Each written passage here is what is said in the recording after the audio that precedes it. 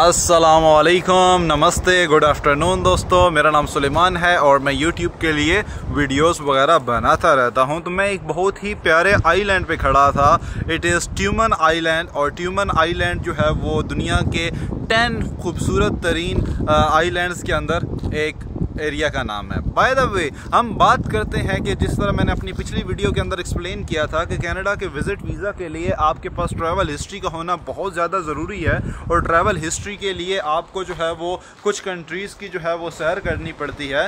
तो उसके लिए मैंने कहा था कि बहुत सारे दोस्त मुझसे क्वेश्चन पूछते हैं क्योंकि मैं बहुत ज़्यादा ट्रैवल करता रहता हूँ। तो मुझसे दोस्त क्वेश्चन पूछते हैं कि भाई, हमें भी बताओ आसान से आसान तरीका क्या है? चीप से चीप वे देखो, आपका पर्पज़ एक है, अगर आप इस चैनल को फॉलो कर रहे हैं it's means that you want to go Canada ठीक है? और कनाडा जाने के लिए आपको ट्रैवल हिस्ट्री चाहिए, जो कि कम से कम पैसों के अंदर हर बंदे का क्वेश्चन होता है कि यार कोई ऐसा तरीका हो जिसमें बहुत कम पैसों के अंदर जो है वो ट्रैवल हिस्ट्री पॉसिबल हो। तो नंबर वन इसका आंसर है येस दिस इज़ पॉसिबल आप बहुत कम पैसों के अंदर जो है वो अपनी ट्रैवल हिस्ट्री बना सकते हो और ट्रैवल हिस्ट्री बनाने के बाद जो है वो आप कनाडा के लिए अप्लाई कर सकते हो और आपका 90 परसेंट चांस होता है कि आपको विज़िट वीज़ा मिल जाएगा और ये सबसे चीप और ईजिएस्ट वे होता है कंट्री को क्रैक करने का और आप उस कंट्री में पहुँच जाते हैं। बाय द वे हम स्टार्ट करते हैं लाइक के जो मेरे पास आइडिया था और मैं जो आप लोगों से शेयर करना चाहता था, अगर इस आइडिया को आपको पसंद आए तो इसको आपने एक तो मेरी वीडियो को लाइक भी करना है, दूसरे नंबर पे जो है वो नीचे कमेंट में लिखना है कि yes I like that and I want to join कैसे है जी? ये आइडिया कैसे है? क्योंकि मैंने आपको बताया मैं बहुत ज़्यादा ट्रैवल करता हूँ तो मुझे यानी कि एक्सपेंसेस का पता है कि जब बंदा एक न्यू बंदा कोई भी ट्रैवल के लिए आता है तो उससे कौन कौन से एक्सपेंसेस जो है वो आ, फेस करने आ, पड़ते हैं ठीक है? लाइक अकोमोडेशन का ट्रांसपोर्ट का फ़ूड का और air ticket visa tick cost A B C तो ये सारी की सारी बहुत सारे लोगों को नहीं पता होती ठीक है? मैं ये नहीं कहता कि सबको नहीं पता बहुत सारे लोगों को नहीं पता होती। तो वीज़ा कॉस्ट क्या है? उसके अलावा जो है वो दूसरे नंबर पे आप कहो यानी कि आपका जो एयर एक्सपेंस है, वो कितना है? और नंबर वन चीज़ मैं आपको एक और चीज़ बड़ी इंटरेस्टिंग बताऊँगा, वो ये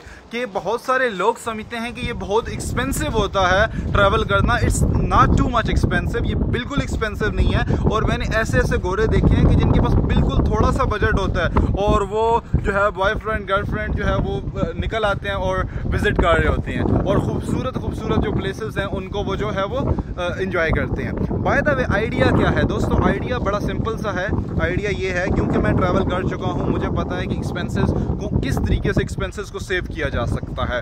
तो यानी कि आपके अकोमोडेशन में, आपकी ट्रांसपोर्ट में, आपके फ़ूड में, और उसके अलावा यानी कि फॉर एग्जांपल अगर हम बात करें श्रीलंका की तो श्रीलंका में कौन सा होटल है जो चीप पड़ते हैं, कौन सी जगह है जहाँ पे फ़ूड अच्छी आपको मिल जाती है, और उसके अलावा जो है वो, इसी तरह अगर हम बात करें इंडोनेशिया की तो इंडोनेशिया बाली के बारे में जो है आइडिया है, उसके अलावा अगर हम बात करें सिंगापुर की तो सिंगापुर के हवाले से आइडिया है। अगर हम बात करें हांगकॉन्ग की तो हांगकॉन्ग के हवाले से आ, मुझे आइडिया है मलेशिया हो गया थाईलैंड है। उसके अलावा आपका ये जो है अगर यूरोपियन कंट्रीज़ की बात करें तो आइसलैंड है स्कॉटलैंड है A B C.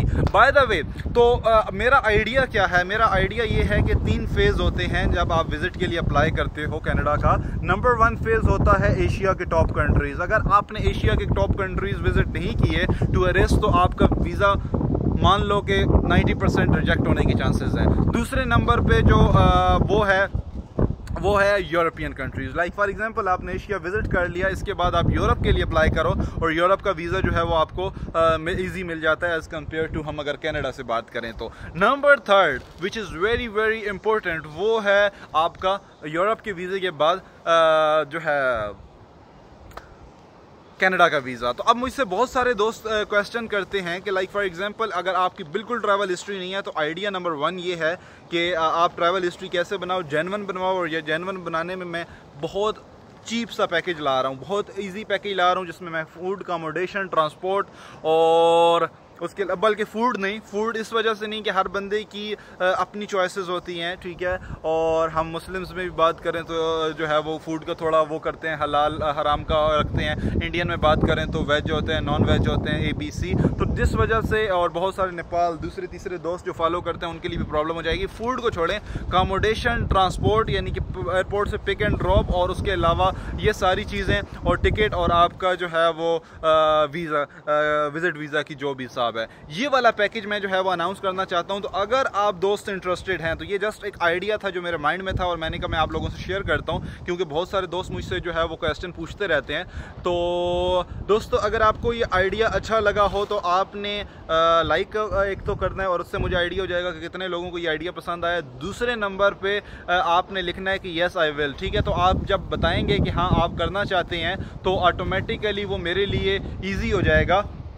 उसको जो है वो आपको डायरेक्टली रबता करना और आपसे पूछना कि आप कौन से कंट्रीज़ को विज़िट करना चाहते हो? तो अगर फॉर एग्जांपल एशियन कंट्रीज़ आपने विज़िट किए हुए हैं ऑलरेडी तो आपके लिए ये पैकेज एक वीज़ा वीज़ा विज़िट वीज़ा और उसके अलावा accommodation transport food European countries के अंदर भी जो है वो है फ्रांस जर्मनी और स्कॉटलैंड आइसलैंड लिथुनिया इनके अंदर जो है वो आ, मिल जाएगा आपको। तो अगर आप इंटरेस्टेड हैं एशियन कंट्रीज़ में या यूरोपियन कंट्रीज़ में आपने जस्ट लिखना है कि येस आई वांट और एशिया और यूरोप। तो अगर आप इस तरीके से लिखोगे और मुझे ज़्यादा कमेंट्स आएँगे और ज़्यादा लाइक्स आएँगे तो इट्स मीन्स डैट कि लोगों को मेरा ये आइडिया पसंद आया और अगर आइडिया पसंद आएगा तो डेफिनेटली मैं इस पर काम करूँगा और एज सुन एज एक चीप सा पैकेज बनाऊँगा, जिससे आपकी ट्रैवल हिस्ट्री भी बन जाएगी और दूसरे नंबर पर जो है वो आप दुनिया की विज़िट भी कर लोगे। दोस्तों आई होप कि आपको ये वीडियो पसंद आई होगी। दोस्तों, मैं 100 परसेंट बिलीव करता हूँ मेरा ईच एंड एवरी व्यूवर जो है वो कनाडा जा सकता है